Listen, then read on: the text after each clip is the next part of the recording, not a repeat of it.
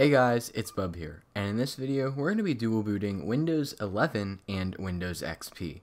Why anyone would have any idea on why they would do this is beyond me, however I think it's just a fun experiment to see if we can dual boot one of Microsoft's best operating systems with their newest. Obviously Windows 11 isn't out publicly yet, but it's in the dev channel, and so we'll be taking a look at how we can actually dual boot this and seeing how it works. Now I'll be doing everything in a virtual machine simply because it's easier and it's quicker, so let's get into the video. So the first thing I'm going to have to do is create a new virtual machine. I'll use a blank install disk, and we're going to go ahead and just start off with Windows XP. The ISO I have is Windows XP Home Edition, so I'm going to just do that and name it Windows 11 XP. Now because we're dual booting, I'm going to change the disk size to 100 gigabytes and customize the hardware. Windows 11 doesn't run on less than 4 gigabytes of RAM, so we're going to crank it up to 4 because 4 gigabytes is the maximum that Windows XP will run on, assuming you're on the 32-bit. And we're going to go ahead and finish. Actually, I lied. We do not need an 100 gigabyte hard drive right now. Um, we are going to go ahead and delete that and add a new one and we're just going to make this 20 gigabytes. We can expand this disk later and by expanding it it creates a brand new partition and we won't have to worry about partitioning or anything. It does it for us. Alright so of course this is literally just our standard Windows XP setup. Here's our 20 gig unpartitioned space. We're going to reformat this as NTFS just because we're not worrying about this. We're installing Windows XP like we would on a real computer, going through using the whole hard drive, because then we'll go through and extend our drive so that we have a partition to install Windows 11 to. Really, this is way easier than dual booting Windows 98 and Windows 10 like I did a few videos ago, because simply it really just clicks together and it all works. Now, as Windows setup is copying files, I want to show how we're actually going to get Windows 11 on here. Because installing Windows 10 and upgrading to Windows 11 is simply too much time, here's an ISO. Which, if you don't know, Microsoft doesn't give ISOs for Windows 11. So how did I get this? To get this ISO, I simply used this app called UUP Dump. This basically downloads the installations from Microsoft and then converts them into an ISO.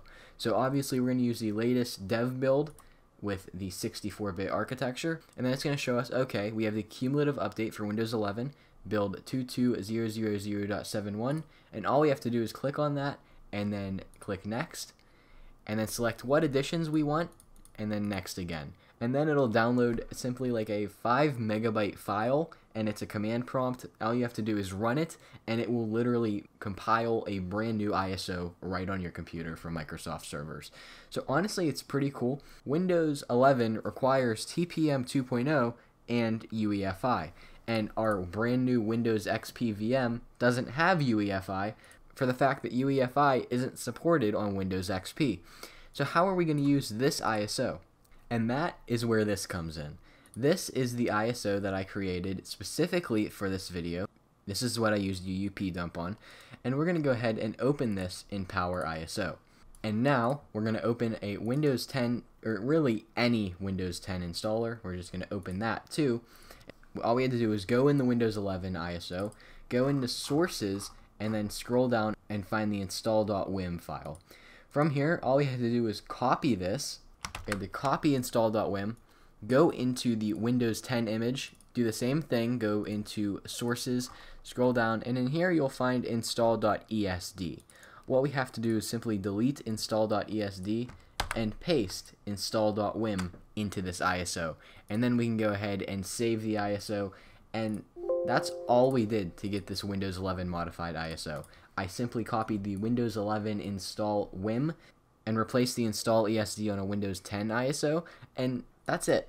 That's how we got this completely functional Windows 11 ISO that will boot on legacy systems and bypass TPM. Alright, so we are in our XP VM, and what we have to do is just go through and set it up, and now I have to find a product key. Alright, and of course, once that product key is entered, we're just going to go through and just click the standard things because we just want a standard install of Windows XP. We don't need anything special for this to just work. So we're going to go ahead and click on the IDE drive and click expand and then change our maximum disk size to 80 gigabytes because it currently is at 20 and we want to add 60 so maximum is going to be 80. Once we click expand, it will say we have to repartition the disk and expand file systems, which is exactly what we want. We're going to go ahead and switch the ISO to our Windows 11 modified that we just created and go ahead and power on the machine and go ahead and boot into the boot menu and then choose CD-ROM. The first thing we're going to see here is actually the Windows 10 logo. Why it's the Windows 10 logo? Because we're booting off of a Windows 10 installer. It's going to install Windows 11, but the installer is physically Windows 10. So we can see it still says copyright 2020. Of course, we don't have a product key, so we're going to go ahead and skip that. And since I only chose Windows Pro, it's not going to give us an option. It's going to go ahead with Windows Pro. And of course, last updated June 2021, these are the new software terms for Windows 11. We are going to click Next, Custom, and here we can see here's our 60 gigs of unallocated space. So we're going to choose that, and now we're installing Windows 11. And of course, like I said, here is the now Windows 11 installer image. And in fact, something that I really found interesting is that they bolded this text. I don't know if this was seen in the leaked build, but since no one's really clean installing Windows 11 from an ISO because it doesn't really exist, no one really gets to see this. And so I found that a little interesting. I really don't know if it looks better or if it looks worse. Uh, it's confusing to me a little bit, although what I can notice is that this loading wheel doesn't really look centered. And here is the Windows 11 setup. I really prefer this setup over Windows 10's. The Windows 10 setup was really colorless and it was boring, um, but this one really brings back color and interesting things to the Windows setup. Um, but of course, that's not what this video is about. This is about dual booting. So we're just going to go ahead and try to get this set up as quick as possible. Alright, and here we are inside of our very blown up Windows 11. So what I'm going to have to do is go ahead and install VMware Tools, and I believe that the Windows XP and Windows 11 slash 10 VMware Tools use the same version, if I'm, I'm hoping so. Um, and just to show that this is Windows 11, here is 21H2220000.71. Um, for some reason, I'm not sure why in the VM this is... Oh, there we go. Finally, we have the curved windows. They weren't curved for a little bit. I was really getting worried. But okay. So we can go ahead and do that. And now we are here in Windows 11. So this is our Windows 11 copy. And if we go here, we can see that there is our Windows XP installation. And I just want to just play around and see if we can run some XP apps. Notepad. Notepad is the same notepad, just a different icon. But here's the whole point of this. Dual booting. With Windows XP, it already detects that it's an older version of Windows, so all we have to do is restart. There's no messing around with EasyBCD. And here we can see that there is our two options. Windows 11, some reason, shows up as Windows 10. It does that on my main computer too. I truly have no idea why. But we're going to want to boot into Windows XP. So we're going to go ahead and click earlier version of Windows. Our system is going to go ahead and restart and it's going to boot into Windows XP. And like I said, we are in Windows XP and we can go ahead and access our Windows 11 drive just like that. And anything won't even run because all of these applications are 64-bit and this version of XP is 32-bit.